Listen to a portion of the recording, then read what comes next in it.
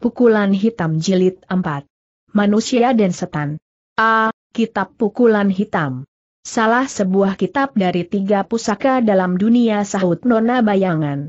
Kitab itu tak ada padaku, kata Cian Hang dengan nada kecewa. Ha, kau membohongi aku. Tidak, aku tidak membohongimu. Bagaimana rupa kitab itu aku belum melihatnya sama sekali. Melihat si pemuda menjawab dengan sikap dan nada bersungguh, Agaknya nona bayangan itu percaya juga. Ia termenung beberapa jenak seperti bersangsi mengambil putusan. Kalau begitu serahkan saja jiwamu katanya beberapa saat kemudian. Menyerahkan jiwa? Jiwa apa yang harus ku serahkan? Serahkan jiwa berarti menikah dengan aku. Cian Hang mendengus muak, hektometer, menikah dengan kau berarti mati, tidak menikah pun mati. Serupa harus mati lebih baik aku berjuang dulu mempertahankan jiwaku. Kuna sehati, jangan kau mengganggu aku. Memang beralasan sekali Cian Hang berkata itu, tetapi Sin Ona bayangan hanya tertawa dingin, serunya, kau salah. Salah? Dua macam kematian itu berbeda satu sama lain. Berbeda? Apakah setelah mati itu nanti akan tidak sama benar, jika kau menikah denganku, kau hanya mati sampai di neraka lapis ke satu. Kau hanya menjadi apa yang dikata Ing. Setan bayangan. Masih agak dekat dengan dunia manusia. Kata-kata nona bayangan itu benar-benar mistik, gaib, dan aneh sekali. Cian Hang tak pernah mendengar hal itu. Lalu kalau aku tak mau menikah dengan kau dan tak dapat memberikan kitab pukulan hitam padamu bagaimana? Tiba-tiba nona bayangan itu berubah bernada bengis, hektometer, kematian macam begitu, sungguh ngeri sekali, terlintas suatu bayang-bayang ngeri di benak Cian Hong. Seketika tubuhnya menggigil keras dan tanpa disadari ia berseru, ngeri. Kematian macam begitu akan menjebloskan kau ke dalam neraka 19 lapis. Kau akan menjadi apa yang disebut Muai Kui, setan gentayangan. Menderita selama-lamanya. Makin lelat hati Cian Hang seolah-olah tenggelam dalam samudera yang tiada ketahuan dasarnya, hampa segala-galanya. Neraka 19 lapis. Kau mengatakan neraka 19 lapis serunya dengan bersungguh-sungguh. Ih, kau takut. Sekarang pun masih belum terlambat. Bukan begitu. Yang kumaksudkan, di manakah neraka 19 lapis itu seru Cian Hong? Tiba-tiba gadis bayangan itu tertawa mengikik. Nadanya benar-benar menyeramkan sekali. Cian Hang serasa dilingkungi oleh gerombolan hantu-hantu. Setelah suara tertawa berhenti, barulah ia merasa longgar. Ketegangannya. Dipandangnya nona bayangan itu dengan terlongong-longong. Kau ingin tahu tanya bayangan itu dengan nada berat. Ya, jika kau tiba di tempat itu, tentulah kau akan mengetahui sendiri. Apakah kau pernah ke sana tanya Cian Hang pula. Gadis bayangan itu berhenti sejenak, ujarnya, aku seorang setan yang luar biasa. Ke mana tempat pun aku sudah pernah mendatangi. Di manakah letak neraka 19 lapis itu, seru Cian Hang tegang sekali. Eh, mengapa kau tegang sekali? Aku hendak minta tolong kau tentang seseorang. Siapa? Apakah dia berada di neraka 19 lapis Cian Hang mengiyakan.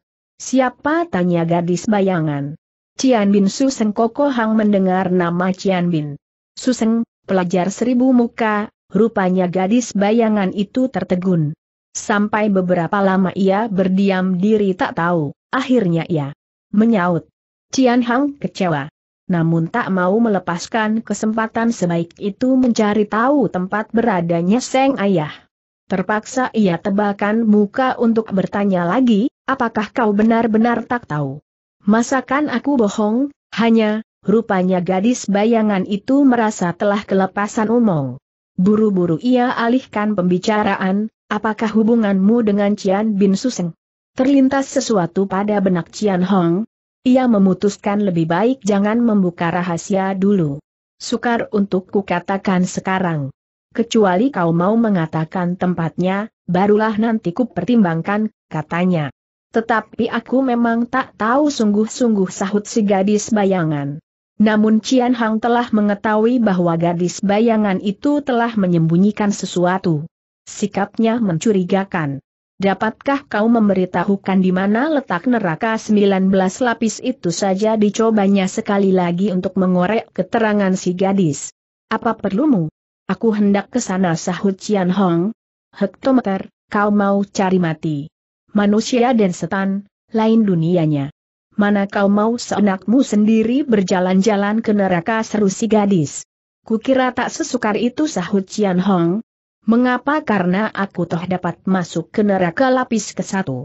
Hal itu membuktikan bahwa neraka menerima juga kunjungan manusia. Dan apa bedanya dengan neraka 19 lapis itu? Kali ini si gadis bayangan tak dapat menyaut. Dan Cian Hang tak mau lepaskan kesempatan. Ia terus mendesak, ku harap kau suka memberitahukan letak neraka 19 lapis itu dan aku pasti berterima kasih padamu selama-lamanya. Tidak, tidak. Janganlah kau ke sana. Sekali kau ke sana tentu takkan kembali selama-lamanya. Tak usah kau pedulikan nasibku. Aku hanya minta tolong kau memberitahukan tempat itu saja. Tidak semudah itu tiba-tiba si gadis bayangan menyahut getas. Cian Hang kewalahan. Tiba-tiba ia mendapat pikiran. Serunya. Jika kau mau memberitahukan tempat neraka 19 lapis itu, akan Kupertimbangkan dua buah syarat yang kau ajukan tadi. Oh, kau mau menikah dengan aku seru si Nona penuh harap. Bukan. Lalu, gadis bayangan itu terkejut. Aku akan berusaha untuk mencarikan kitab pukulan hitam bagimu. Rupanya Nona bayangan itu merenung. Beberapa saat kemudian barulah ia berkata, baik, tetapi setelah menyerahkan kitab itu barulah ku beritahukan tempatnya. Tetapi sekarang kitab itu tak ada padaku kalau begitu tak usah kita bicarakan lagi. Kembali Cian Hang kecewa. Tetapi ia tak mau melepaskan kesempatan mencari tahu tempat beradanya Seng Ayah. Sekalipun sekarang tak ada, tetapi aku tentu dapat mencarikan kitab itu untukmu, katanya sambil menghela napas. Andai kata kau tak berhasil mendapatkannya, kata-kata itu amat menusuk hati Cian Hong, namun tak dapat ia menjawab apa-apa. Janganlah kau menciptakan tipu muslihat, seru si gadis bayangan pula. Cian Hang berdiam beberapa saat. Tiba-tiba, ia tertawa rawan, aku minta tempo setahun untuk mencari kitab itu. Jika gagal, aku pasti akan kembali lagi ke sini dan menikah dengan kau. Benarkah itu? Tentu.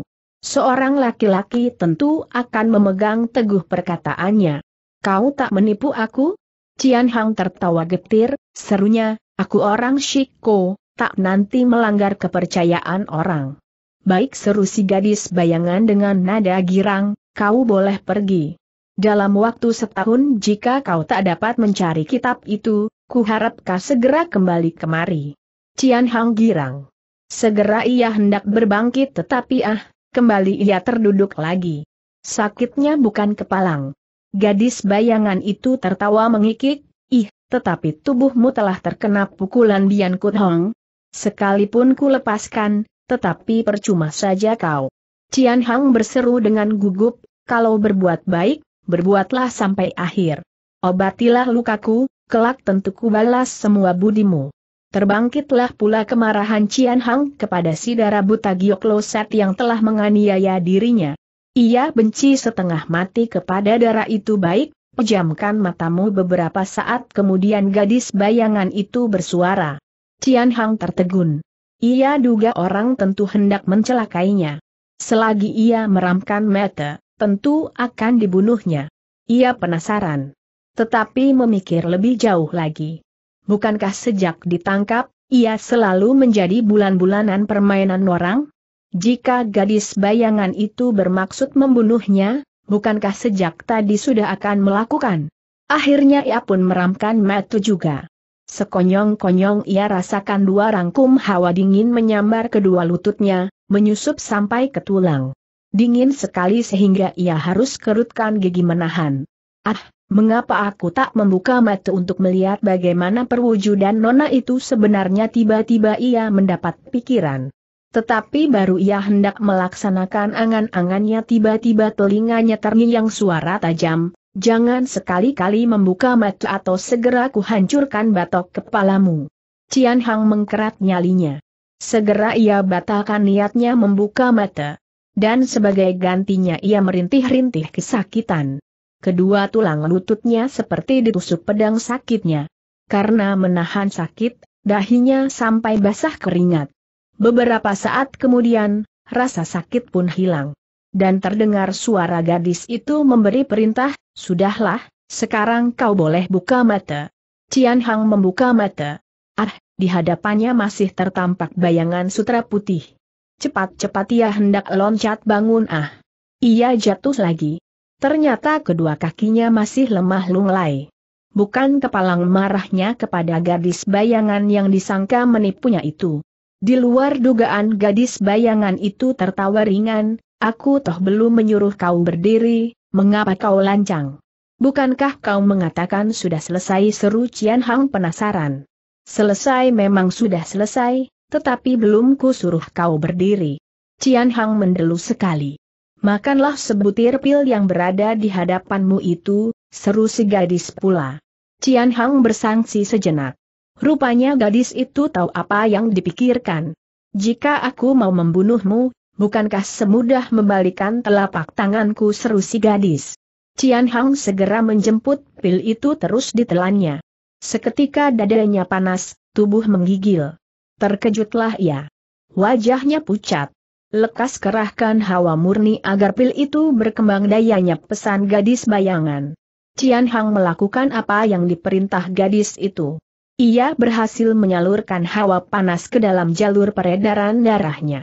Benarlah tak berselang berapa lama, hawa panas itu pun hilang. Tetapi saat itu tubuhnya mandi keringat. Wajahnya berseri merah bagai mentari pagi. Tiba-tiba gadis bayangan itu berseru, usahamu berhasil, sekarang cobalah kau berdiri. Cian Hang masih agak meragu. Tak berani ia buru-buru bangun. Kedua tangan ditekankan ke tanah untuk mengangkat tubuhnya pelahan-lahan. Setelah dua kali percobaan itu memberi hasil barulah ia percaya dan berdiri.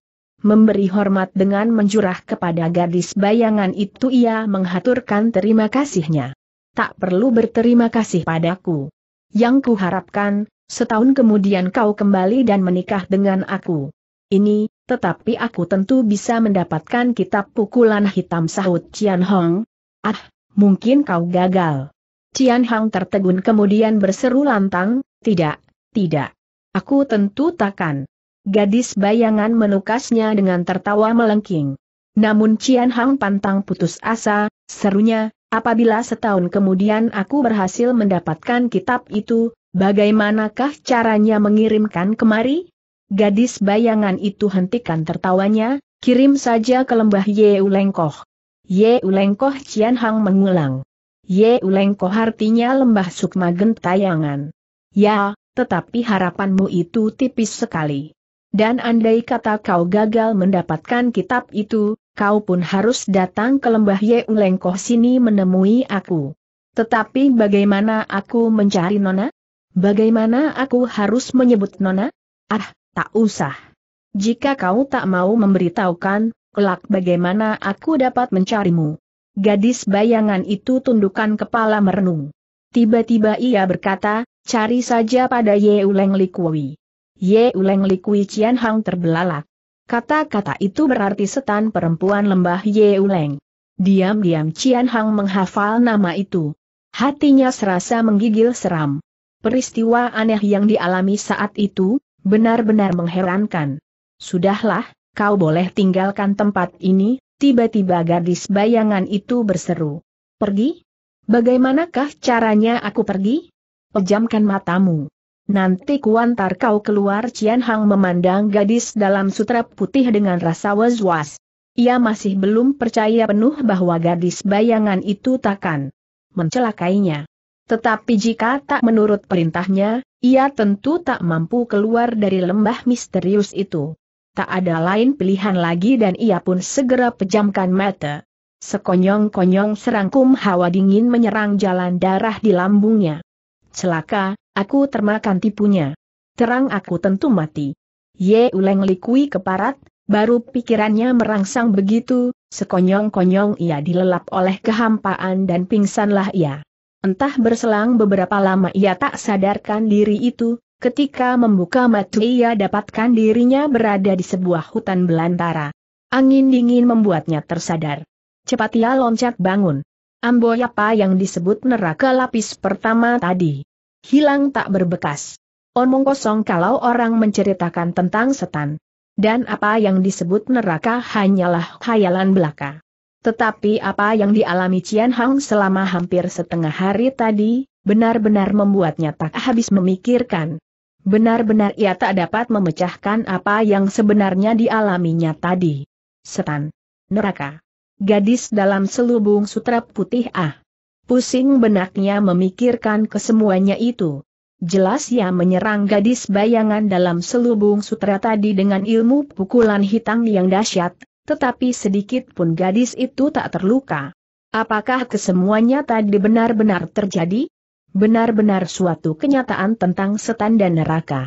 Kalau demikian naga-naganya, apakah tadi ia berkelana ke neraka? Tetapi bukankah ia seorang manusia, apakah badan wadak, kasar, dapat berjalan-jalan ke neraka? Ah! Tiba-tiba sebuah jeritan minta tolong dari seorang anak perempuan memecahkan lamunannya, tolong! Tolong! Tolong enggak! Cian Hang seperti terpagut tular. Serentak ia loncat bangun dan setelah menentukan arah timbulnya jeritan, segera ia lari menghampiri. Dalam sekejap mata saja ia sudah mendekati tempat itu. Bagaikan seekor burung elang, ia melambung ke udara dan menukik turun ke tempat itu dan apa yang disaksikan di situ, benar-benar menghanguskan hatinya. Seorang lelaki buas tengah meruda paksa, memperkosa, seorang darah. Pakaian diara itu telah dirobeknya, hanya tinggal sehelai pakaian dalam yang tipis. Lelaki buas itu macam singa kelaparan hendak menelan korbannya seekor anak domba. Cian Hang tak dapat mengendalikan kemarahannya lagi. Ia ayunkan tangan kanan menghantam punggung si lelaki buas. Rupanya karena tengah dihanyutkan oleh nafsunya yang berkobar-kobar, lelaki itu tak merasakan apa-apa lagi. Duk ia menjerit ngeri dan tubuhnya terpental sampai beberapa meter jauhnya. Si Dara tersipu-sipu malu dalam keadaan begitu. Segera ia mengenakan pakaiannya. Dalam pada itu lelaki buas tadi pun loncat bangun. Demi mengetahui yang mengganggu kesenangannya itu hanya seorang kacung kecil, marahnya bukan kepalang. Hai, siapa kau budak keparat? Kau berani mengganggu kesenangan tuanmu serunya bengis. Bajingan, kau hendak merusak kehormatan seorang gadis baik-baik, masih berani berlagak garang seperti tuan besar dan peracian Hong? Siapa yang berani mempedulikan keinginan tuan besarmu? Anjing kecil, Rupanya kau belum kenal siapa tuanmu ini maka kau berani mati. Aku tak peduli kau siapa. Bagiku kau adalah seorang bangsat perusak wanita seru Cian Hong.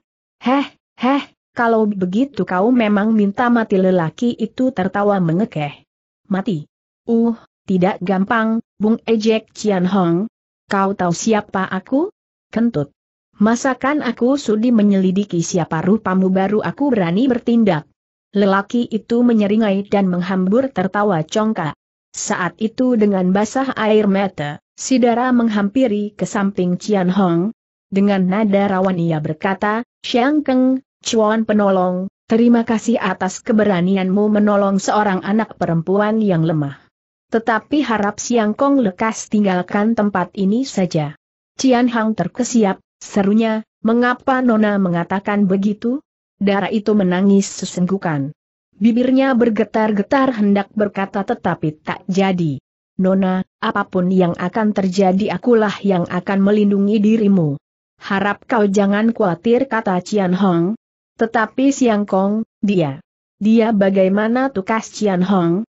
Wajah darah itu berubah pucat dan dengan nada gemetar berkata, dia adalah durjana yang termasyur suka menjaga manusia. Ilmu silatnya sakti sekali. Cian Hang hanya mendengus. Dipandangnya lelaki itu sejenak lalu berpaling pula kepada saudara, siapakah dia? Bagaimana keganasannya? Lak Hiu Sikwi. Lak Hiu Cian Hang mengulang. Ya, lebih baik Siang Kong pergi sajalah. Aku tak tega melihat Siang Kong menderita karena membela aku pinta si gadis itu pula. Tiba-tiba Cian Hang mendorong gadis itu ke samping lalu melangkah ke hadapan Lak Hiu atau tangan telengas perusak wanita. Cian Hang menengadah ke atas dan menghambur tertawa panjang. Nadanya bagai gelombang guruh menggema di angkasa. Sengaja ia mempertunjukkan agar darah itu jangan terlalu cemas dan agar lelaki itu tergetar nyalinya. Ia hendak menggertak supaya orang itu ngacir. Tetapi di luar dugaan ternyata Lak Hiu Sikwi seorang durjana pemetik bunga, perusak wanita, yang sudah bangkotan. Selain berilmu silat tinggi dia juga mempunyai tulang punggung, backing, yang kuat. Gertakan Cian Hang disambut dengan tertawa hina, anjing kecil, kematian sudah di depan mata mengapa kau masih tertawa-tawa? Ku tertawakan dirimu yang punya mata, tetapi tak dapat melihat kedatangan dewa pencabut nyawa. Oh, kaukah dewa pencabut nyawa itu apakah ada orang kedua yang kau lihat di sini? Kurang ajar, katakan namamu. Chuan besar Jui tak mau membunuh kawanan tikus budak yang tak bernama Serulak Hiu Sikwi. Cian Hang panas benar mendengar kata-kata yang sombong itu. Segera ia melangkah maju, berdirilah yang tegak supaya jangan rubuh apabila ku sebut namaku. Kentut. Aku Cian Hong, Sebagai mendengar ledakan halilintar berbunyi di tengah hari, maka pecahlah nyali Lak Hiu Sikui yang garang itu. Tiba-tiba ia loncat dan lari ngabrit.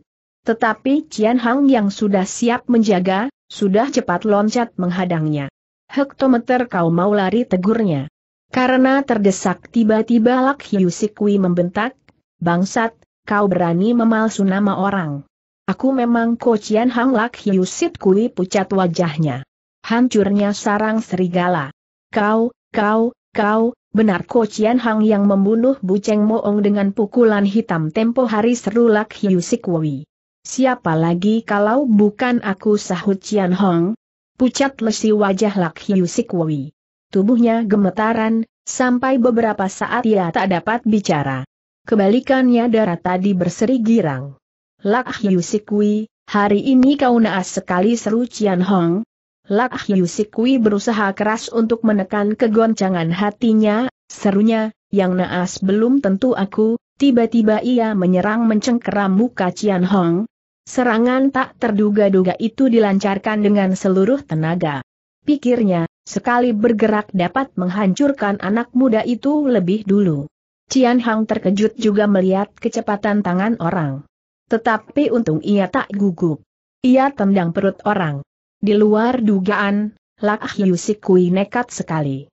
Dia tahu apa yang akan terjadi akibat tendangan Cian Hong, tetapi ia tetap kalap.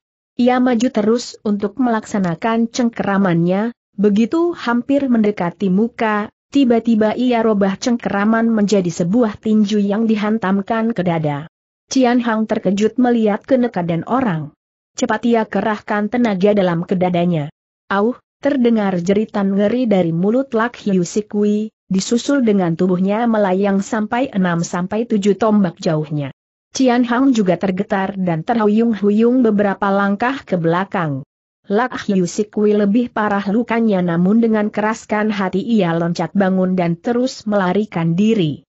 Cian Hang gemas sekali melihat keganasan orang. Sekali loncat ia menghadangnya lagi, mau lari ke mana kau, Lak Hiu Sikwi bagai rusa yang diketung orang. Ia nekat dan kalap menghantam penghadangnya. Cian Hang terpaksa menyisih ke samping. Kesempatan itu digunakan Lak Hiu Sikwi untuk menyelinap lolos, ia sudah tak mempunyai nyali berkelahi lagi. Tetapi Cian Hang lebih gesit.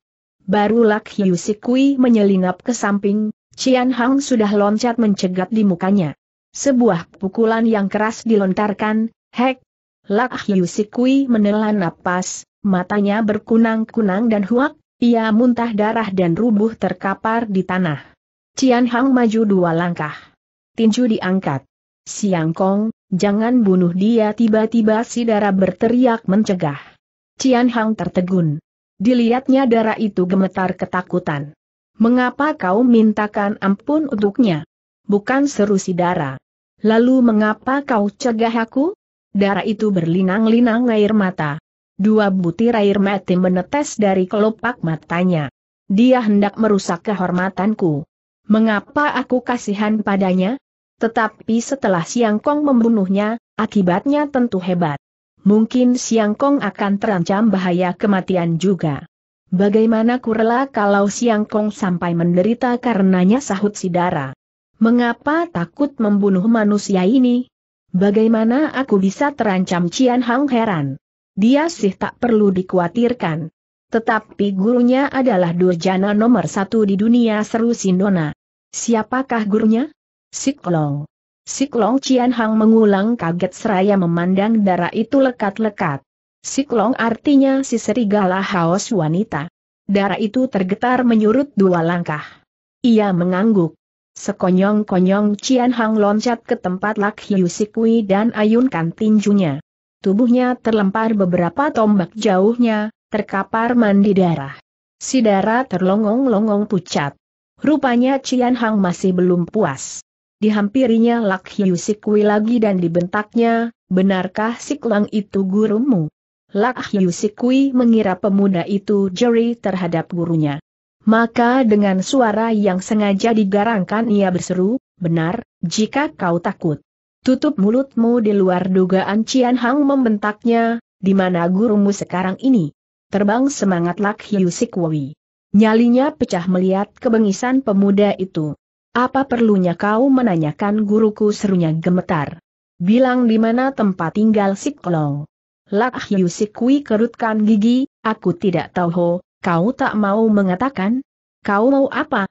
Seketika merahlah metu Cian Hong. Ia kerahkan lewekang ke lengannya kanan.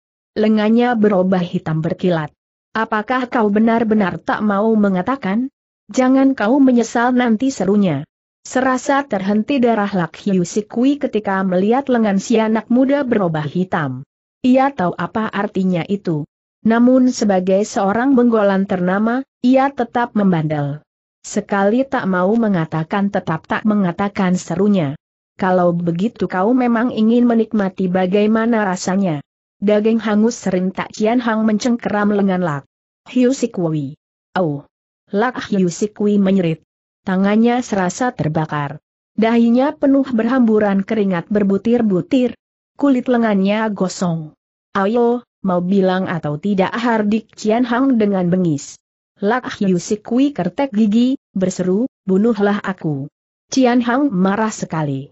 Ditambahinya pula saluran lewekang ke tangannya Lak Hiu Sikwi makin setengah mati. Tidak mudah kalau hendak minta mati, Bung. Ajo, katakan di mana Siklong Teng Bun Kui Cian Hang ulangi ancamannya pula. Tiba-tiba Lak Hiu Sikwi merentang mata. Ditatapnya wajah Sidara dengan penuh dendam, serunya, Siulan, jika aku sampai mati di tangan budak ini, kau harus ingat akan pembalasan suhuku nanti, heh, heh. Tanda petik. Darah itu ternyata Yap Siulan. Serta mendengar ancaman Lak Hiu Sikwi, gemetarlah tubuhnya, wajah pucat lesi. Ia hendak berkata tetapi tak jadi karena tersela kucuran air matanya. Tiba-tiba Cian Hang berpaling, Apakah Nona hendak mintaku lepaskan manusia ini karena takut akan pembalasannya? Dia dan gurunya bersimaharaja. Ganas dan kejam sekali. Jika muridnya dibunuhnya, gurunya tentu akan ngamuk. Apakah kalau dia dilepas, Nona merasa aman tanya Cian Hong? Darah itu terkesiap. Tak tahu ia hendak menjawab. Kata Cian Hong pula, sebenarnya kalau melepaskan dia, berarti seperti melepas harimau kembali ke sorangnya. Akibat di belakangnya hari jauh lebih ngeri. Harap Nona jangan khawatir. Aku telah bertekad hendak melenyapkan kejahatan. Bukan melainkan dia saja, gurunya pun juga akan kubasmi.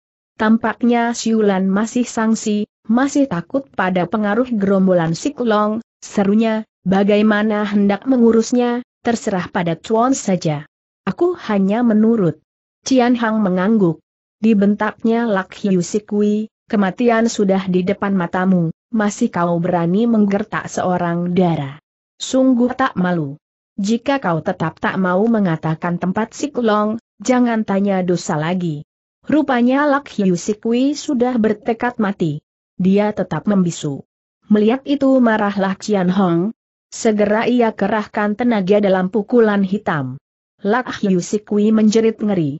Tak tahan lagi ia akan siksaan yang dideritanya. Ya, ya, aku mengatakan. Hektometer, aku tak percaya kau bertulang besi. Cian Hang longgaran tekanannya. Dan Lak Hiu Sit Kui pun menghela napas lega. Guruku berada di lembah Ye Ulengkoh hujarnya. Ye Ulengkoh seru Cian Hong. Lak Hiu Sit Kui mengiyakan. Kau tak menipu aku Cian Hang menegas dan menatap dengan berapi-api hingga Lak Hiu Sit Kui mengkeret nyalinya.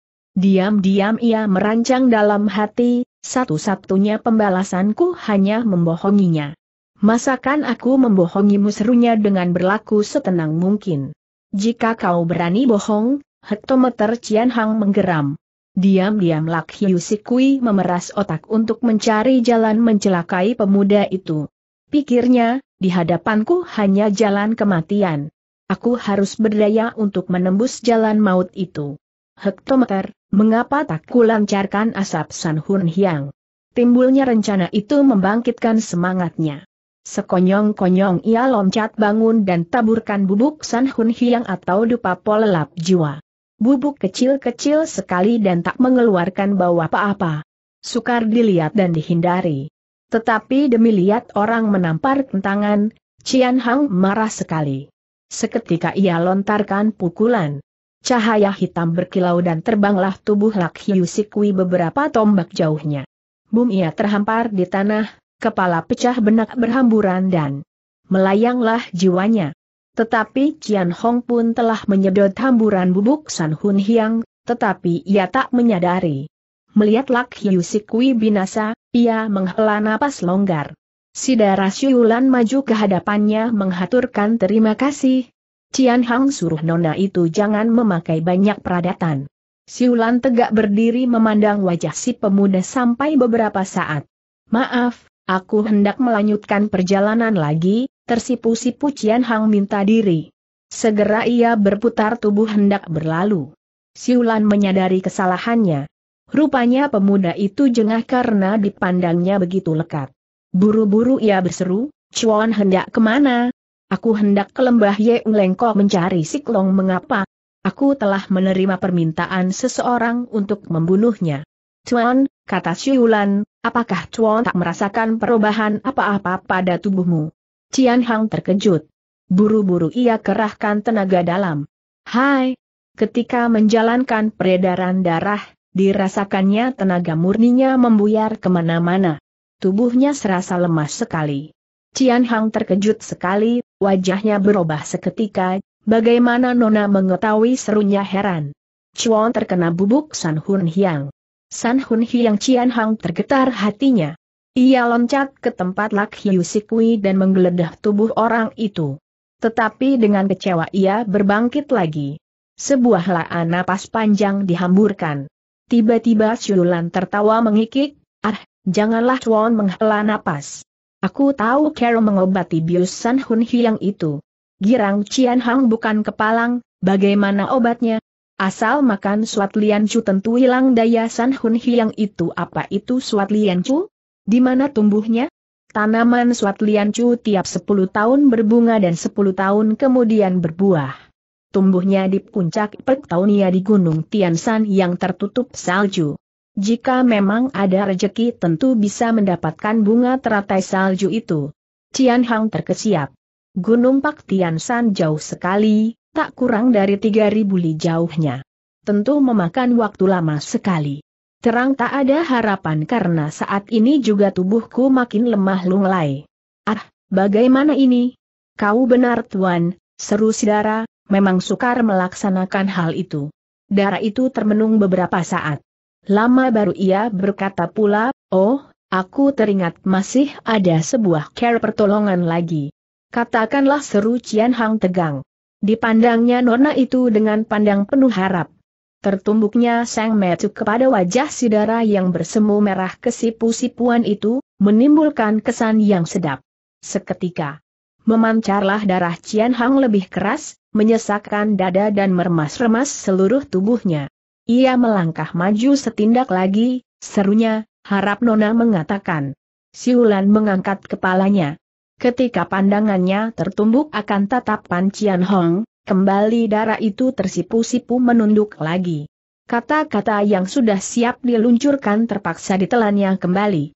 Nona, bagaimanakah caranya mengobati Cian Hong makin tegang?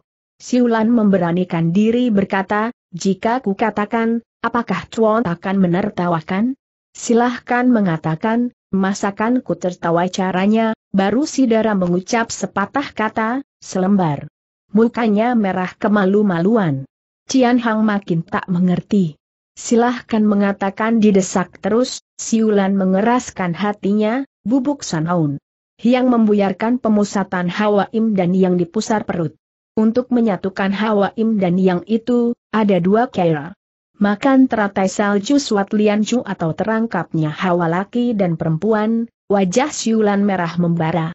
Cian Hang segera tahu apa yang dimaksudkan.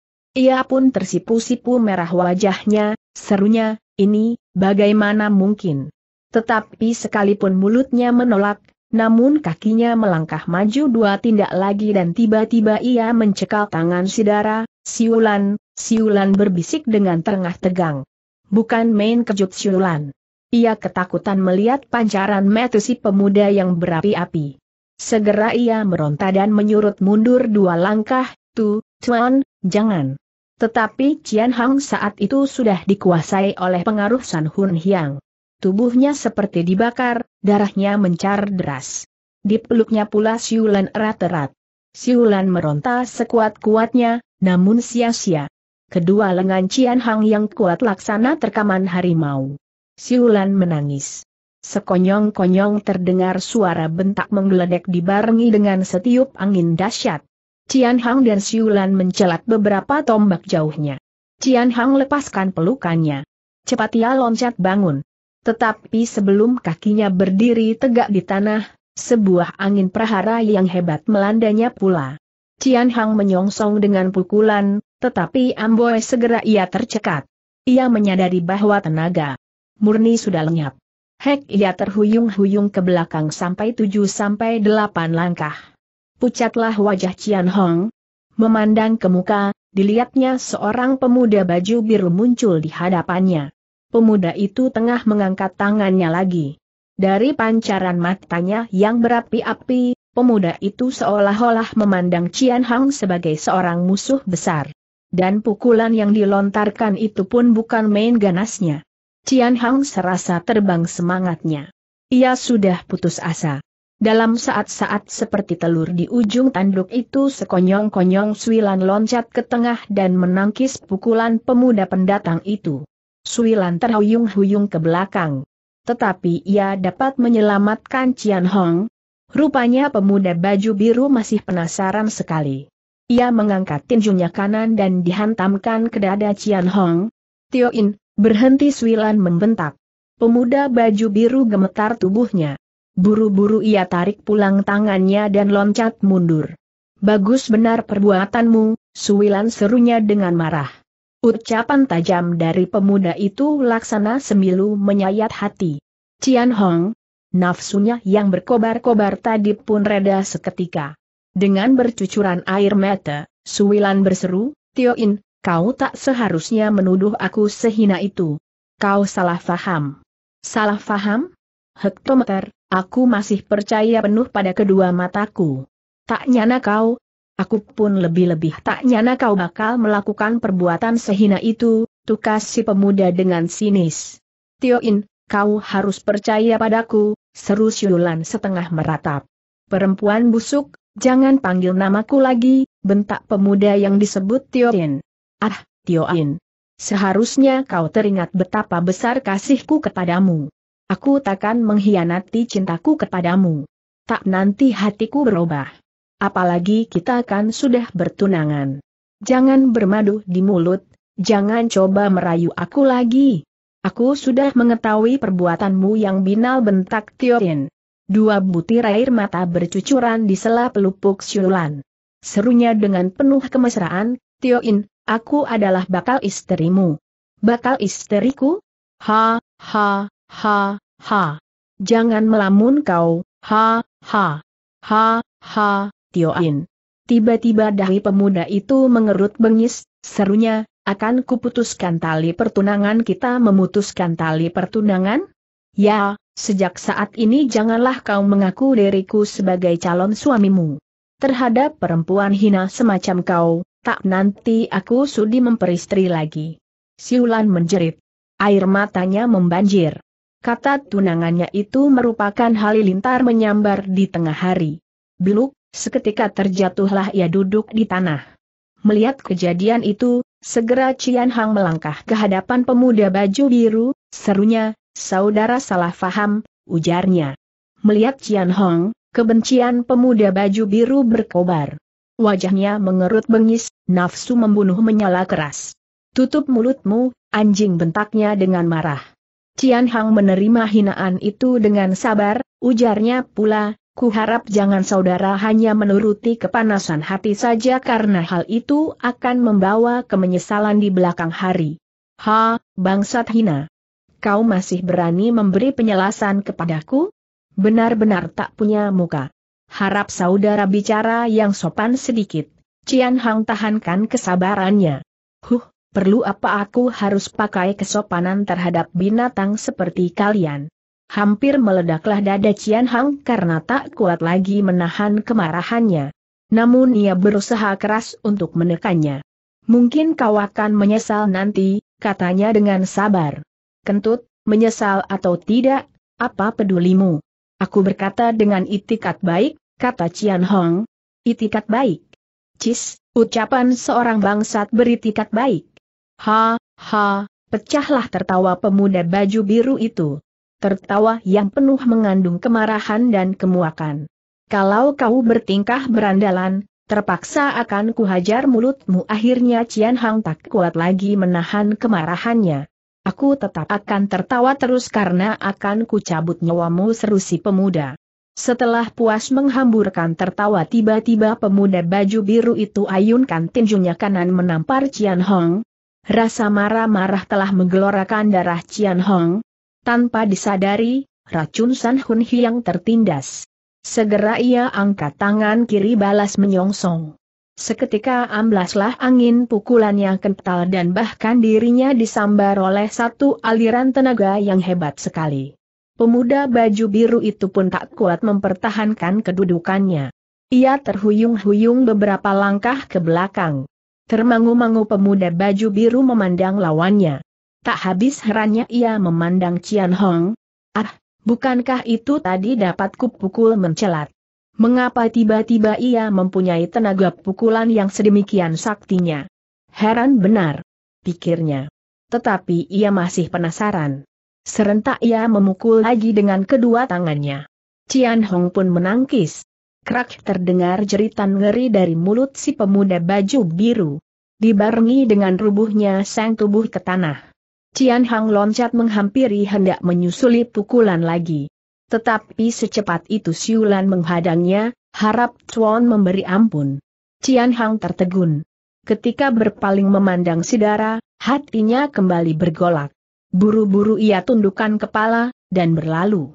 Siulan mengangkat pemuda baju biru, tegurnya mesra, Tioin, apakah kau terluka berat? Plak, sekonyong-konyong Tioin menampar kepala Siulan, perempuan hina, enyah. Jangan sentuh aku. Ah, janganlah kau begitu keras. Kaulah yang mengkhianati aku dulu. Sekarang ikatan kita sudah bebas. Silahkan kau berfoya-foya dengan jantung hatimu si bajul tadi, ha, ha, ha. Mendapat hinaan terus-menerus dari kekasihnya, akhirnya berserulah Syulan dengan geram, Si Tioin, aku dapat membencimu seumur hidup. Membenci aku? Sudah tentulah, karena aku dapat mengganggu kesenanganmu. Jangan menghina aku begitu rupa kalau menghina kau mau apa? Baik, ingatlah. Aku dapat membalas dendam padamu. Aku siap menunggu pembalasanmu, Perempuan hina habis berkata pemuda baju biru itu pun segera melangkah pergi dengan tindakan berat. Cian Hang menghampirinya dan berseru, apakah saudara benar-benar tak mempercayai omonganku di dunia tiada? Terdapat lelaki yang mau mengaku mempermainkan wanita sahut Tioin. kau kelewat menghina orang. Perbuatanmu lebih hina dari hinaanku, sahut Tioin. Gemetar tubuh Cian Hang mendengar kata-kata yang menusuk itu. Segera ia mengangkat tinjunya hendak menghajar pemuda itu. Tetapi kembali Siulan mencekal lengannya, Tuan, maafkanlah kehilafannya. Cian Hang menghela napas panjang untuk melonggarkan kesesakan dadanya. Pemuda baju biru itu menggernyutkan geraham berseru geram, pada suatu hari aku tentu membasmi kalian sekali ayunkan tubuh ia loncat menghilang. Cian Hang masih termangu-mangu. Hatinya penuh keresahan. Siulam pun tak tahu apa yang harus dilakukan. Saat itu malam pun makin dingin. Karena menolong diriku, Chuan sampai mengalami cerca hinaan orang. Aku sungguh menyesal sekali, kata Siulan sesaat kemudian. Cian Hang memandangnya. Tak tahu ia bagaimana hendak menjawab. Kata Siulan pula dengan rawan, dan Tuam pun terkena racun San Hun Hiang. Kecuali dengan buah teratai salju, sukar ditolong. Akulah yang menyebabkan penderitaan Tuan. Tak usah Nona memikirkan hal itu. Mati hidup di tangan yang kuasa Cian Hang menghiburnya. Tetapi air mata Siulan membanjir sehingga tak dapat melanjutkan kata-katanya. Beberapa saat Cian Hang tak dapat berkata apa-apa. Akhirnya ia dapat juga mengucapkan beberapa patah kata agar nona itu jangan bersedih. Ah, walaupun kehormatanku tercemar, tak jadi soal. Tetapi nama Tuan terhina, aku lebih baik mati saja tiba-tiba Siulan benturkan kepalanya ke batang pohon di belakangnya. Cian Hang kaget dan cepat menyambar tubuh nona itu, dengan bunuh diri, Bukankah Nona tak mempunyai kesempatan untuk membersihkan diri lagi? Kehormatanku tak penting, kata Syulan. Yang ku sesalkan ialah tak dapat mengobati racun dalam tubuh Chuan itu. Hal itu tak perlu Nona resahkan. Ah, apakah Chuan sungguh mencegah aku bunuh diri apakah Nona tak percaya padaku? Bukan begitu maksudku, lain. Kalau Chuan memang bersungguh-sungguh, Maukah Tuan meluluskan sebuah permintaanku? Apa? Harap meluluskan dulu, baru ku katakan. Cian Hang terkesiap, asal beralasan, tentu ku luluskan, kalau begitu harap Tuan jangan memaki aku tak punya malu tentulah, masakan aku berani memaki Nona. Selembar wajah Syulan merah. Sekonyong-konyong ia menutup jalan darah Oh Hiat, pemisu, di pinggang Cian Hong, karena tak menduga dan jaraknya dekat sekali, rubuhlah Cian Hong. Diam-diam ia memakin Ona itu. Karena tak dapat bicara, ia melampiaskan kemarahannya dengan pandangan mata. Dipandangnya Nona itu dengan penuh kebencian. Harap maafkan Tuan. Aku terpaksa melakukan hal ini, kata Syulan dengan penuh maaf. Cian Hang yang tak dapat berkata apa-apa hanya dapat memaki dalam hati, huh, perempuan hina yang tak tahu membalas budi. Kata Syulan dengan nada rawan pula, tunanganku telah mendepak aku karena salah faham. Dan kehormatanku pun telah tercemar. Untuk apakah aku harus hidup di dunia lagi? Tetapi sebelum aku mati, aku rela menyerahkan diriku kepadamu agar dapat menghilangkan racun dalam tubuhmu. Aku hendak membalas budi Tuan. Tidak, tidak, tidak, jangan begitu, Jangan begitu, tak boleh Nona berbuat begitu, Cian Hang menjerit dalam hati. Siulan kerutkan kening demi melihat kerenyut muka Cian Hang menampilkan kemarahan. Jangan Tuan menganggap diriku sebagai perempuan hina tak tahu malu. Aku melakukan hal ini karena terpaksa katanya. Tanpa ragu-ragu lagi Siulan terus melolos pakaiannya. Cian Hang menjerit dalam hati, jangan, jangan lakukan hal itu. Tetapi Syulan sudah maju menghampiri. Darah Cian Hang mendebur keras sekali. Buru-buru ia pejamkan kedua matanya. Siulan tak peduli lagi. Demi untuk menolong jiwa orang yang pernah menyelamatkan kehormatan, ia tak malu lagi untuk memberikan kesuciannya. Pada saat ia hendak menanggalkan kain penutup tubuhnya yang terakhir, sekonyong-konyong setiup tenaga kuat mendampar dan mementalkan nona itu sampai 4 sampai 5 tombak. Siulan menjerit ngeri. Dengan cepat ia loncat bangun. Tetapi demi mengetahui siapa pendatang itu, ia segera lari sekencang. Kencangnya. Cian Hang membuka mata. Dilihatnya bayangan nona itu lari kemati-matian. Sebagai gantinya tampak seorang lelaki tua bertubuh kurus kering tegak berdiri di sebelah timur.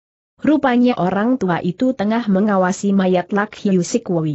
Tahulah Cian Hang bahwa Syulan tentu dikejutkan oleh munculnya orang tua kurus itu.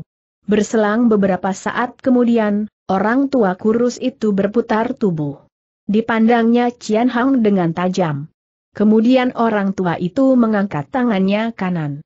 Dengan sebuah jari ia bergerak-gerak membuka jalan darah Cian Hang yang tertutup.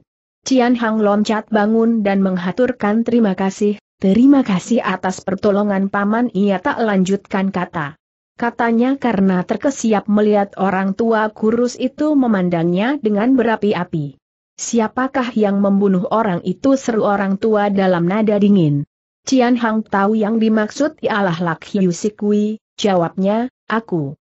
Mengapa kau membunuhnya tegur orang tua itu masih dengan pandangan mata yang berkilat-kilat tajam.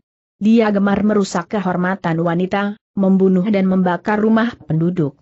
Terpaksa kubunuhnya, jawab Cian Hong. Tahukah kau siapa dia? Tahu. Dia adalah Lak Hiu Sikwi Jui lihat tahukah kau siapa gurunya? Apakah bukan Siklong Teng Bun Kui sudah tahu gurunya mengapa kau berani membunuhnya? Siklang juga seorang durjana yang gemar merusak kaum wanita, membunuh dan merampok. Dia pun harus dibasmi sahut Cian Hong. Kau kenal Siklang tanya orang tua kurus. Tidak akulah Teng Bun Kui, di luar dugaan orang tua kurus itu. Berkata, Bujang, kau bermata tetapi tak dapat melihat gunung Tai. San karena berani membunuh muridku, maka kematianmu sudah pasti hari ini. Cian Hang terkejut, serunya, Teng Bun Kui, aku justru hendak membunuhmu. Ucapan itu ditutup dengan menghantamkan kedua tangannya ke dada Tan Bun Kui Siklong. Hanya sekali bergerak, Siklong sudah menghindari serangan Cian Hang dan secepat itu pula mengirimkan pukulan balasan sebanyak tiga kali. Cian Hang terpesona melihat ketangkasan orang. Terpaksa ia mundur tiga tombak. Setelah mengerahkan seluruh tenaganya, segera ia berseru, Teng Bun Kui, terimalah pukulan hitam ini. Secercah sinar hitam berkelebat menyambar Siklong. Bukan kepalang kejut Siklong. Nyalinya pecah. Kesan kegagahan malaikat maut berpuluh-puluh tahun yang lalu masih tetap menggetarkan hatinya. Belum sempat Siklong memikirkan bagaimana harus menghadapi, tiba-tiba sinar hitam itu sudah melandanya.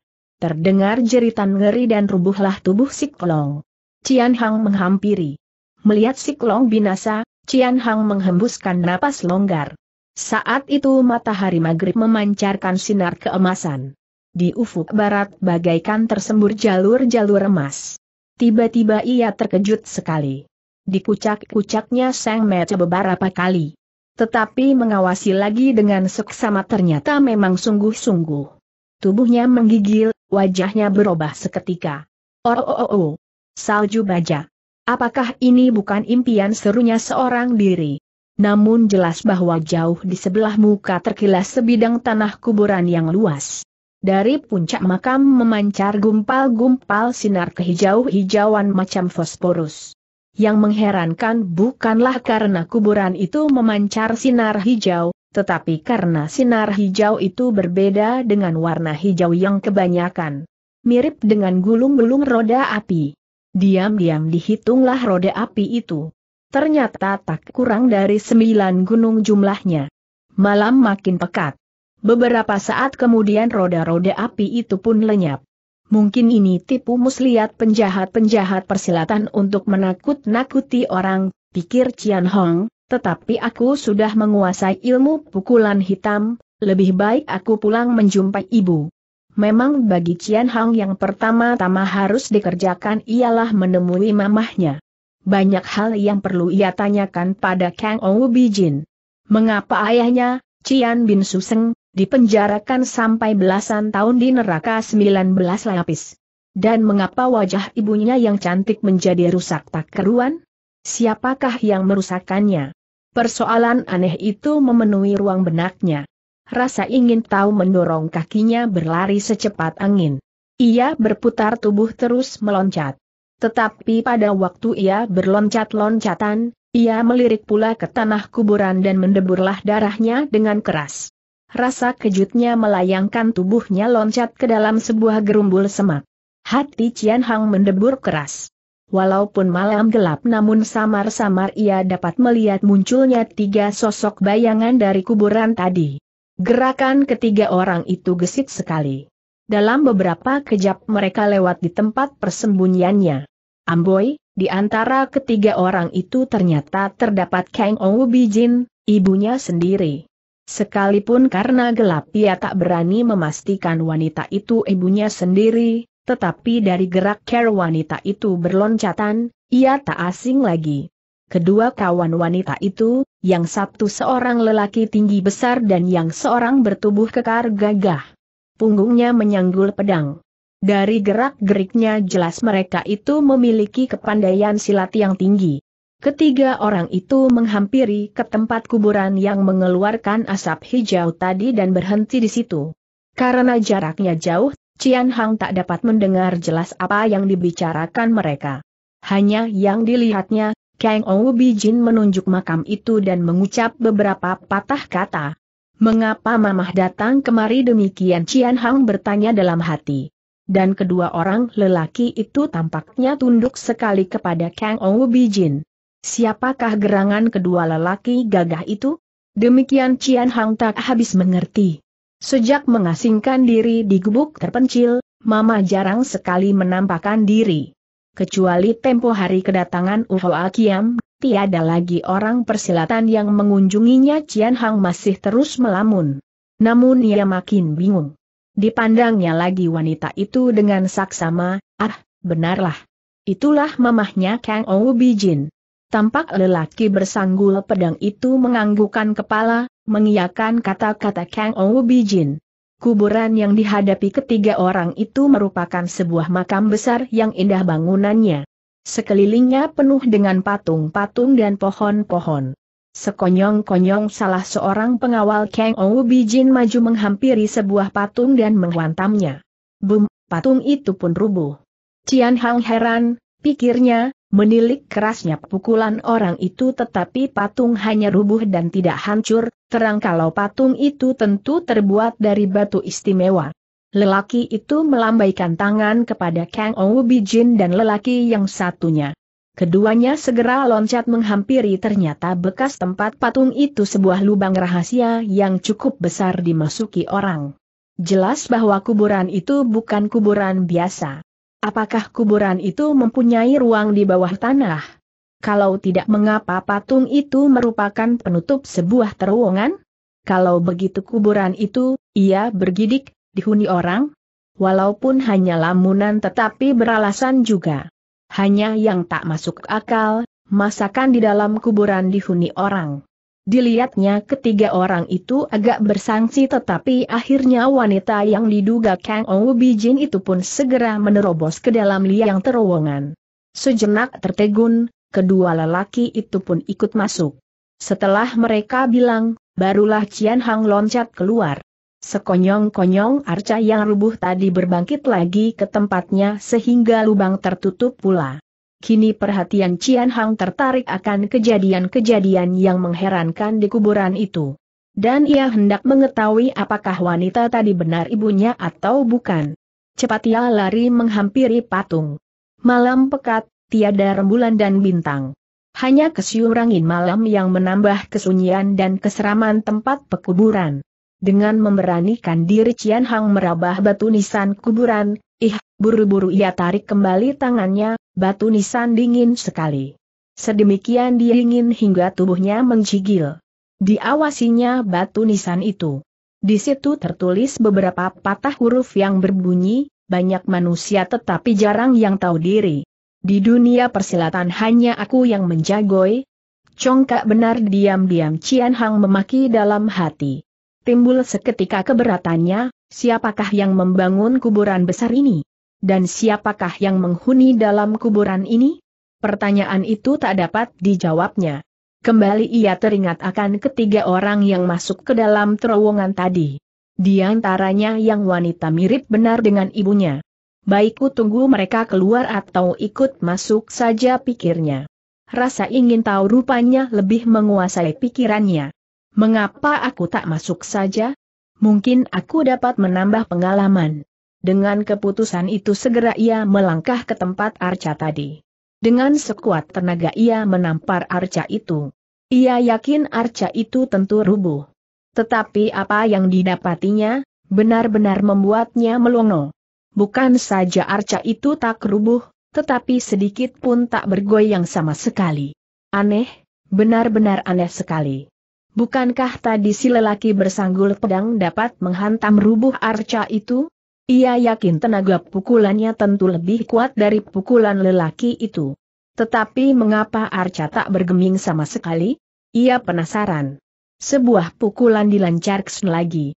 Tetapi ah, hasilnya tetap nihil. Sedikit pun arca itu tak bergeming. Cian Hang tertegun. Terlintas sesuatu dalam benaknya. Ia menghampiri lain arca dan menamparnya. Ah patung itu pun rubuh dan terbukalah sebuah liang. Terowongan. Tampak oleh Cian Hang bahwa lubang itu gelap sekali. Samar-samar seperti terdapat tangga menurun. Tetapi tak dapat dilihat berapa dalam dasarnya. Cian Hang meragu sebentar, kemudian ia tetap menuruni tangga. Sampai pada anak tangga yang ke-17, sampailah ia di tempat yang terang. Di sebelah muka terbentang sebuah lorong. Setelah ia menyusuri lorong kembali ia tiba di tempat gelap lagi. Dengan mengandalkan ketajaman matanya dapatlah Cian Hang mengetahui bahwa kini ia terhadang oleh sebuah pintu besi. Sekeliling tempat terasa dingin sekali. Cian Hang merabah pintu besi. Tiba-tiba didengarnya suara pembicaraan orang. Dari nadanya mereka itu terdiri dari tiga orang. Cian Hang pasang telinga mendengarkan dengan penuh perhatian. Bang Chu, benarkah setan tua itu berada dalam kuburan ini terdengar sebuah suara nyaring. Cian Hang menduga bahwa yang menyebut Bang Chu, ketua, tentu salah satu dari kedua orang lelaki. Tetapi siapakah yang dipanggil sebagai Bang Chu itu? Mereka hanya tiga orang. Apakah yang disebut Bengcu itu bukan wanita yang mirip ibuku tadi demikian Cian Hang menimang-nimang dalam hati. Dan ternyata dugaannya itu memang benar. Toan Bokco, perhitungan Taisya yang tentu tak salah, sahut yang dipanggil Bengcu. Mendengar nada suara orang itu, gemetarlah Cian Hong. Jelas, itulah suara ibunya. Di dunia memang bisa terdapat orang-orang yang serupa wajahnya, tetapi tak nanti ada yang kembar nada suaranya. Ya, tidak mungkin. Kata-kata Beng Chu, Tai Siang dan Toan Bok Cho itu asing bagi telinga Cian Hong. Sejauh ingatannya, belum pernah ia tahu ibunya mempunyai hubungan dengan orang luar. Terutama dengan orang-orang yang mempunyai nama begitu. Cian Hong seperti dalam kabut kegelapan. Kata orang yang disebut Toan Bokcho, memang dugaan Tais yang tak salah. Tetapi kita pun telah menyelidiki segenap ujung dan seluruh sudut kuburan ini. Kecuali hanya gunduk-gunduk tanah yang seram, tak ada barang sesosok bayangan manusia pun juga. Inilah yang membuat kita ragu-ragu. Wanita yang dipanggil Bengcu itu tertawa dingin, kau kira kita sudah menjelajahi seluruh sudut kuburan besar ini? Ketahuilah bahwa setan itu seorang sakti yang luar biasa. Baik kepandaian silat maupun kecerdasannya hebat sekali. Turut pendapatku, kita baru seperseratus bagian menjelajahi kuburan ini. Mendengar itu lelaki yang satunya berkata, kalau begitu, betapakah besarnya bangunan makam ini wanita itu berseru, Toan Bokco, kata-katamu betapakah besarnya bangunan ini masih belum cukup untuk menggambarkan luas kuburan ini yang sesungguhnya. Benarkah begitu Toan Bokcho terkejut? Kau anggap bagaimana nilainya Suat Kong itu wanita yang disebut Beng Chu balas bertanya. Jawab Toan Bokcho, Suat Kong hanya sebuah benda yang terdapat dalam dongeng. Konon benda itulah yang menciptakan Pulau Es di Kutub Utara. Untuk mengambil segumpal kecil dari benda itu, sukar-sukarnya bukan main. Suat Kong artinya baja salju. Toan Bokco pun menambahkan, kabarnya Suat Kong masih mempunyai lain khasiat lagi.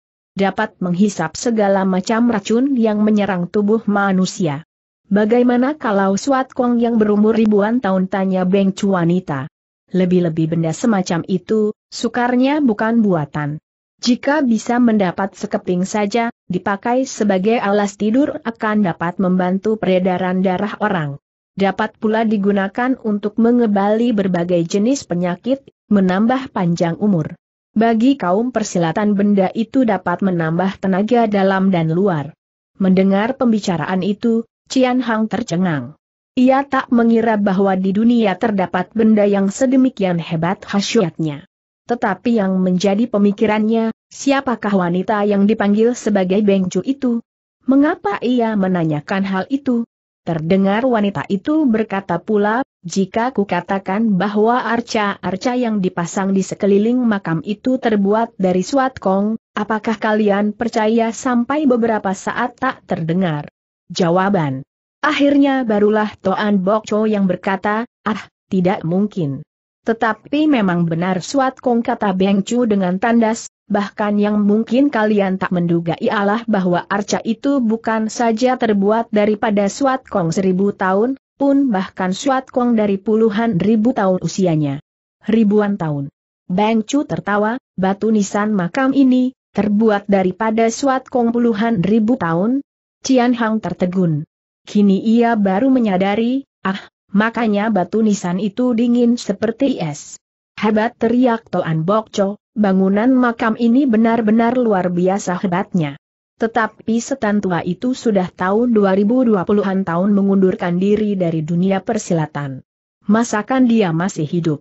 Mungkin juga, kata Beng Chu, tetapi yang penting ialah kitabnya. Jika kitab itu tak dapat kita rebut darinya, percuma saja. Kembali Cian Hang melongo. Kitab? Kitab apa serunya dalam hati? Kata yang bernama Toan Bokco pula, kitab harus kita dapatkan.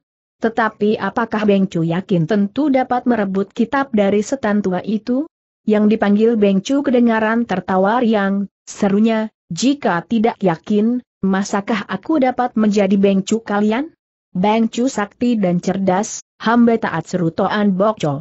Setelah pembicaraan itu sampai lama Cian Hang tak mendengar mereka berkata-kata lagi. Hanya kedengaran derap kaki makin lama makin jauh. Cian Hang duga mereka tentu pergi ke lain tempat. Cian Hang berusaha mendebur pintu besi dan ah pintu itu pun terbuka. Karena terkejut, Cian Hang sampai menyurut mundur. Tiba-tiba dari dalam pintu besi itu memancarkan sinar berkilat-kilat. Itulah senjata rahasia. Cepat-cepat Cian Hang menghindar ke bawah. Sin senjata rahasia meluncur lewat di sisinya. Berbahaya ia kucurkan keringat dingin. Kini ia tak berani lagi memandang rendah keadaan di makam situ. Setelah menunggu beberapa saat tak ada reaksi apa-apa lagi, barulah ia berani berbangkit dan melangkah masuk. Begitu masuk ia hampir berteriak kaget. Matanya tertumbuk oleh sinar berkilat-kilat yang menyilaukan mata. Hampir-hampir ia tak percaya apa yang disaksikan saat itu. Ruangan di dalam pintu besi itu ternyata sebuah ruangan penuh dengan emas intan dan barang-barang berharga. Nilainya sukar diperkirakan. Asal dapat mengambil beberapa butir mutiara saja, tentu takkan habis dimakan seumur hidup. Seketika timbul nafsu keserakahan Cian Hong, ia maju menghampiri dan mengambil sebutir mutiara yang besar. Tetapi secepat itu ia tarik pulang tangannya pula, ah, tak boleh aku mengambil benda yang menjadi milik lain orang. Dan tanpa menghiraukan segala kemewahan yang di sekelilingnya, segera ia melanjutkan langkahnya. Kini ia melintasi sebuah lorong panjang. Tiba-tiba hidungnya tersampok semacam bau harum.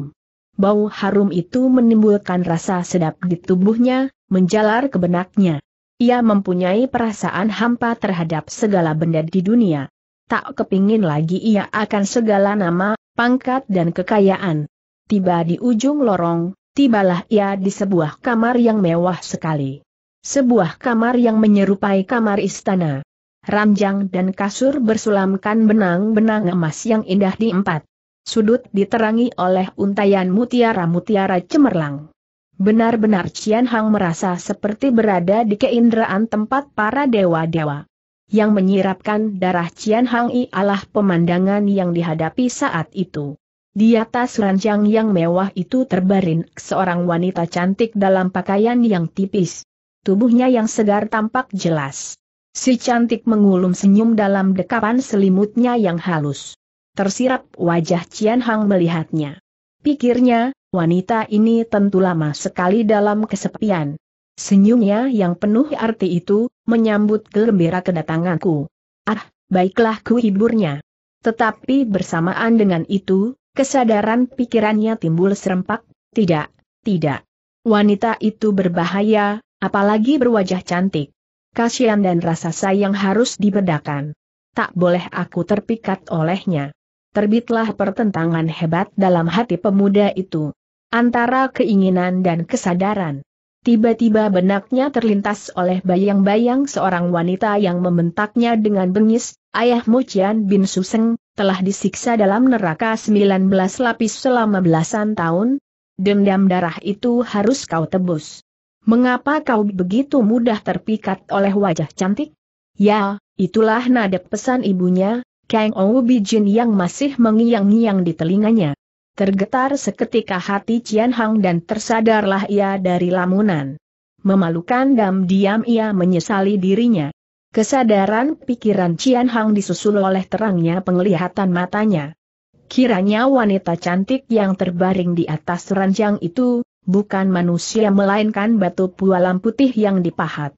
Berkat seni pahat yang tinggi, patung pualam itu benar-benar menyerupai manusia hidup.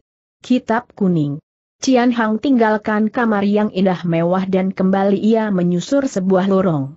Walaupun hanya lorong jalanan saja, namun penuh dihias dengan ratna mutu manikam yang luar biasa indahnya. Sekonyong-konyong ia dikejutkan oleh suara parau dari seorang tua. Kau sudah rela menghadiahkan, mengapa balik kembali kata suara itu? Jelas bahwa kata-kata itu tak ditujukan pada dirinya, Cian Hong, setelah tertegun sejenak, Cian Hang hendak melanjutkan langkahnya. Jika kau temaha dan menjengkelkan, jangan persalahkan aku tak kenal kasihan kembali suara para orang tua itu terdengar. Rupanya ia marah. Cian Hang terpaksa hentikan langkah-langkah. Ia duga orang tua itu tentu salah sangka kepada dirinya. Aku Ko Cian Hong, tak sengaja datang kemari. Oh, kau juga orang Shiko belum Cian Hang selesai bicara, si orang tua sudah menukasnya. Ya, memang aku Shiko dan bernama Cian Hang Cian Hang mengiyakan. Kau telah melalui ruang harta dan ruang kecantikan seru orang tua itu pula. Cian Hang tertegun, ujarnya, aku masuk dari lubang di bawah arca. Beberapa kali aku tiba di tempat-tempat yang aneh dan berbahaya. Apa maksud Lo Ciampu dengan kata-kata ruang harta dan ruang kecantikan itu? Di dalam ruang harta, Ratna Mutu Manikam berlimpah ruah. Tetapi penuh berlumuran racun ganas. Apabila kau rakus dan mengambil permata tama itu, belum kau berjalan lima langkah saja, tubuhmu tentu akan luluh menjadi air busuk. Serasa melayanglah semangat Cian Hang mendengar keterangan itu. Ia bersyukur bahwa tadi ia tak jadi mengambil permata. Kata orang tua itu pula, Ruang kecantikan itu penuh berselubung obat-obat bius yang harum dan wanita-wanita cantik yang telanjang. Ruangannya indah mewah sekali. Apabila orang tak kuat imannya dan tak dapat mengendalikan nafsu, sekali ia menjamah wanita palsu yang berbaring di ranjang itu, seketika ia pasti ditabur oleh ribuan batang anak panah beracun. Cian Hang mengucurkan keringat dingin. Benarkah kau tak menghiraukan harta dan tak mengacuhkan wanita cantik seru orang tua itu pula? Dengan bangga Cian Hang menyahut, walaupun aku bukan seorang nabi, tetapi ku tahu juga tentang ajaran-ajaran orang tua bahwa mengambil barang milik orang adalah perbuatan haram. Bahwa terpikat oleh paras cantik adalah orang yang beriman tipis. Asal mempunyai kesadaran, tentu mudah melintasi kedua ruang itu dalam hal ini bukanlah sesuatu yang perlu dipuja-puji. Garang benar kau, Buyung. Tetapi memang kenyataan begitulah. Ketahuilah bahwa selama beberapa belas tahun, entah berapa jumlahnya orang yang memasuki makam ini. Tetapi sampai detik ini, belum pernah terdapat orang yang mampu melintasi kedua ruangan itu kata seorang tua. Benarkah itu Cian Hang setengah kurang percaya? Jika tidak kandas dalam ruang harta, mereka tentu hancur dalam ruang kecantikan. Begitu melihat harta karun yang sedemikian hebatnya, tergeraklah keinginan mereka. Sekali menjamah permata-permata itu, tubuh mereka segera hancur luluh menjadi cairan air busuk. Tiada seorang pun yang mampu melintasinya Cian Hang menegas. Hektometer, tiada seorang yang mampu menginjakan kakinya sampai di ruang kecantikan. Tetapi pada umumnya kaum persilatan menganggap sepi akan segala harta kekayaan. Kumohon Lo Ciampu jangan kelewat memuji diriku. Orang tua itu tertawa terkial-kial serunya, Buyung, meskipun orang persilatan tak memandang harta, tetapi terhadap sesuatu mustika persilatan, mereka tentu tak mau melepaskannya. Apakah di dalam ruang harta itu, selain harta permata masih terdapat permata pusaka seru Cian Hong? Ada sebutir mutiara dan sekeping emas hitam. Apa gunanya mutiara dan emas hitam itu teriak Cian Hong? Mutiara dapat memunahkan segala racun di dunia dan emas. Hitam adalah benda yang paling beracun di dunia. Sungguh berbahaya batin Cian Hong, untung aku tak mengerti tentang mutiara dan emas hitam. Coba tidak begitu tentu kuambil benda itu. Sekalipun begitu, berkatalah Cian Hong dengan tenang, benarkah sejak berpuluh tahun tak ada seorang pun yang dapat mengambil harta kekayaan itu? Si orang tua bermenung sejenak lalu berkata, sejak berpuluh tahun ini hanya ada seorang gagah yang berhati keras dapat mengambil harta itu. Ah, dia tentu seorang ksatria gagah seru Cian Hong. Benar. Tetapi dapatkah ia melintasi ruang kecantikan sekiranya dia mampu melalui ruang itu, tentu komentarku. Berbeda. Diam-diam Cian Hong membatin, ah, kiranya orang tua ini seorang sakti yang luar biasa. Dia putus asa karena tak mendapatkan manusia yang tak kepincut harta terpikat wajah cantik. Maka ia bersembunyi dalam makam ini. Kalau begitu dia tentu mati di bawah hujan anak panah tandasnya. Tidak. Lalu Cian Hang heran.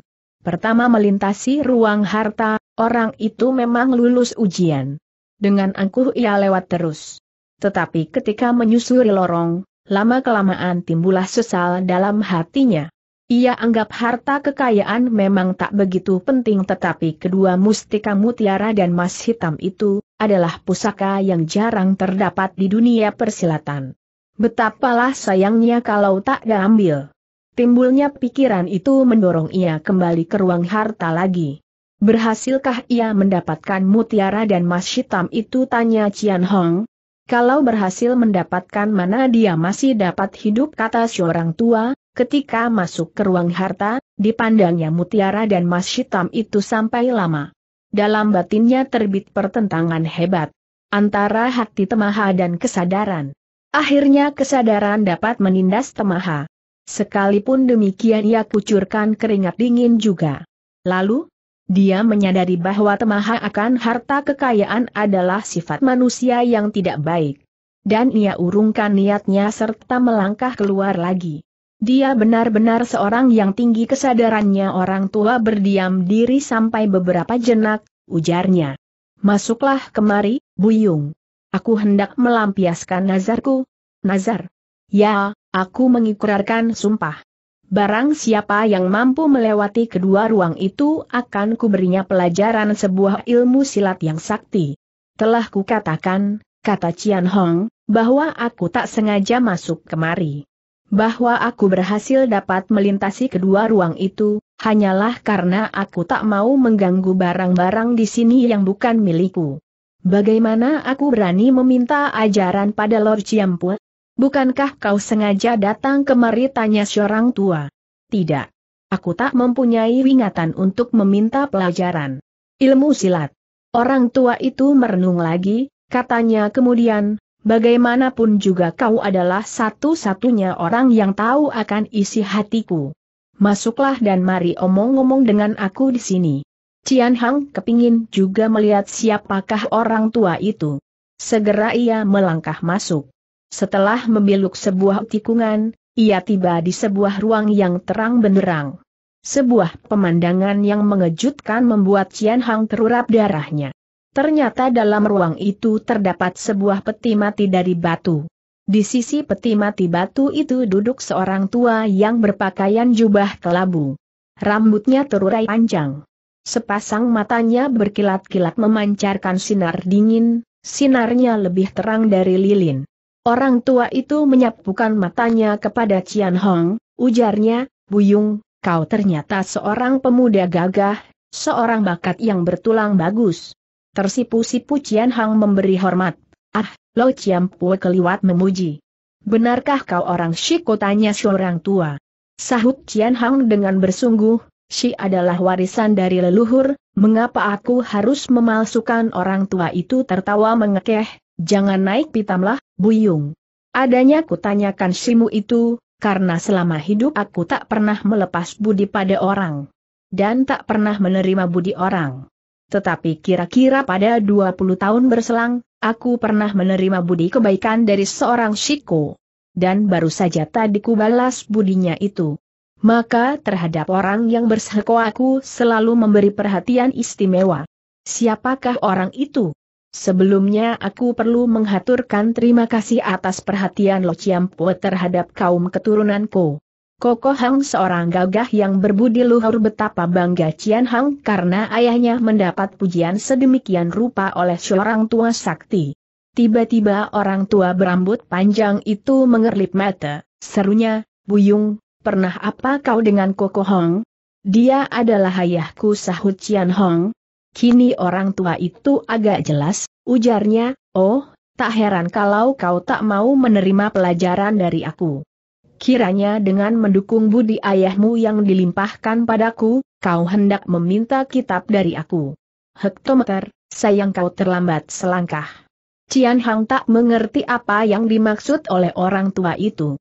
Kebalikannya karena melihat pemuda itu diam saja, si orang tua mengira kalau dia, Cian Hong, penasaran.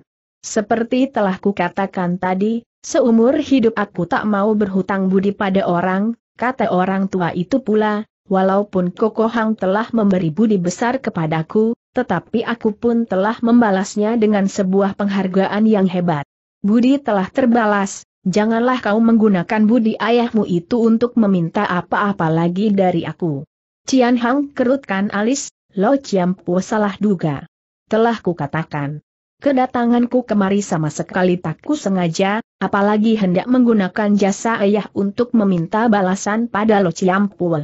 Kata-katamu seolah-olah bersungguh-sungguh seru orang tua berambut panjang. Cian Hang berpikir sejenak, ujarnya, kalau kedatanganku ini dikatakan sengaja pun tak ada hubungannya dengan Lo Ciampul. Aku hanya mengikuti jejak orang dan kesalahan masuk di makam ini. Mengikuti jejak? Cian Hang mengiyakan. Mengikuti siapa? Pada waktu lewat di daerah ini, tiba-tiba aku lihat dua orang lelaki dan seorang wanita muncul. Wanita itu mirip benar dengan ibuku. Tanda petik. Jangan ngoceh tak keruan orang tua menukas marah, wanita muda itu memang benar ibumu Kang Ou Bijin Hoa Lan. Cian Hang tak percaya, ah, tak mungkin. Mengapa tak mungkin? Dia sendiri yang mengaku sebagai istri Koko Hang yang bernama Kang Ou Bijin Hoa Sian Lan. Dan dengan menggunakan budi Koko Hang yang diberikan kepadaku, Hoa Sian Lan telah meminta kitab kuning dari aku. Benarkah itu Cian Hang terkejut? Perlu apa aku bohong padamu? Tetapi mamah tak nanti berbuat begitu, ya, tak nanti. Mah, Mengapa kau menggunakan jasa ayah untuk meminta kitab kuning ia memprotes dalam hati. Tetapi ia tak dapat membela ibunya. Tak dapat ia memberi alasan untuk membela ibunya. Cian Hang menyesal mengapa tadi ketika masih di luar makam ia tak segera muncul menemui ibunya. Mungkin ia dapat mencegah niat Seng Ibu. Ah, kini ibunya telah menjadi seorang yang rendah budi. Sebagai seorang anak sudah tentu ia bersedih. Lo Ciampua, benarkah ibuku dengan kedua lelaki itu datang kemari masih ia meminta penegasan? Masakan ibumu itu palsu? Mereka bertiga belum lama tinggalkan tempat ini. Tetapi mengapa mereka tak melalui kedua ruang harta dan ruang kecantikan? Tiba-tiba orang tua itu deliki mata, tempat ini mencapai luar makam, bukan hanya terdapat sebuah lorong tetapi masih ada lain jalanan lagi. Tetapi mereka telah berada dalam genggamanku. Kini barulah Cian Hang mengerti mengapa ketiga orang siang-siang telah pergi dan tak pernah dijumpainya lagi. Biar bagaimanapun juga, kau telah mampu melewati kedua ruangan itu aku tetap hendak melaksanakan nazar memberimu sejurus ilmu silat sakti. Sekalipun kau terlambat dan kitab kuning itu sudah diambil orang, tetapi percayalah, ilmu ajaran yang kuberikan padamu itu cukup membuatmu menjuarai kolong langit. Aku merasa tak punya jasa, tak mau aku menerima pahala. Tak berani aku menerima pelajaran dari Lo Ciampul. Cian Hong, menghela napas. Mengenai ibuku, sebagai anaknya, akan berusaha menasehati mama supaya mengembalikan kitab itu kepada Lo Ciampul. Sikapmu yang perwira itu menunjukkan bahwa kau mewarisi sifat-sifat ayahmu. Aku mohon diri, serentak Cian Hang memberi hormat dan terus hendak melangkah pergi. Sekonyong-konyong ia merasa tubuhnya seperti tersedot oleh serangkum tenaga kuat hingga ia tersurut dua langkah. Tunggu dulu seru seorang tua. Cian Hang berbalik tubuh, serunya, apakah Lo Ciapwe hendak memberi pesan lagi? Metus orang tua yang berkilat-kilat tajam menatap Cian Hong, serunya, aku hendak memberi sejurus ilmu sakti. Tidak, Lo Ciampua, Cian Hang tetap menolak, telah kukatakan tadi, aku tak berjasa maka tak pantas diberi balas. Tetapi aku tak menghendaki ikrarku rusak di tanganmu. Berapa tahun ini, orang-orang persilatan berusaha sekuat-kuatnya untuk meminta pelajaran ilmu sakti dari aku, tetapi tak kululuskan. Kini kau malah menolaknya. Kukira kau tentu tak mengetahui betapa kelihayan ilmu kesaktian yang hendak kuberikan padamu itu. Kata Cian Hang tawar-tawar, betapapun saktinya, aku tetap tak menginginkan. Tiba-tiba mata orang tua berkilat bengis, serunya, kalau begitu kau minta mati lain jalan tak ada lagi. Belum tentu sahut Cian Hang dengan garang. Coba sajalah, jawab seorang tua, sebelum kau menerima pelajaranku, tak mungkin kau mampu keluar dari ruangan ini. Lihatlah, aku hendak keluar. Cian Hang laksana seekor anak kambing yang tak takut harimau. Ia berputar tubuh terus melangkah ke pintu. Tetapi baru kakinya hendak melangkah keluar, Tenaga ajaib tadi menyapu ujung kakinya. Buru-buru ia hendak tarik pulang seng kaki. Tetapi tak urung terdampar juga. Tubuhnya bergoyang-goyang hampir jatuh. Cian Hang marah sekali. Segera ia menghantam sekuatnya. Si orang tua dengan tenang kebutkan lengan baju dan tenaga pukulan Cian Hong pun sirna. Bahkan masih terasa kesiur rembesan tenaga kebutan si orang tua itu menampar ke dada Cian Hong, ia terdorong mundur sampai tujuh sampai delapan langkah. Cian Hang malu. Malu membuatnya gusar. Ia dorongkan tangannya menyerang seorang tua. Buyung, kau mau mengajak berkelahi dengan aku? Ah, masih terlalu pagi, budak, seorang tua tersenyum. Dan diangkatnya seng lengan pelahan-lahan untuk menampar. Uh, uh. Cian Hang terhuyung-huyung mau jatuh.